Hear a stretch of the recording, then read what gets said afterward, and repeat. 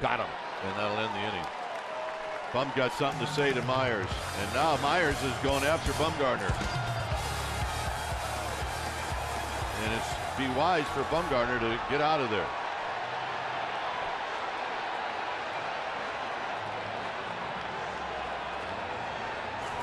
Now, the one thing you can't do if you're Bumgarner and you're the ace of the staff is get into an altercation that could possibly lead to a suspension.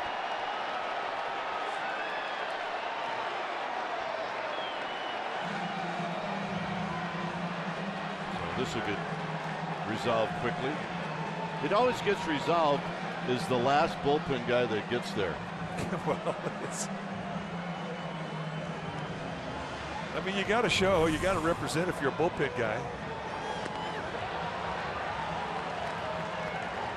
So something went on. I do believe it was the pitch prior to that that Bumgarner didn't like it.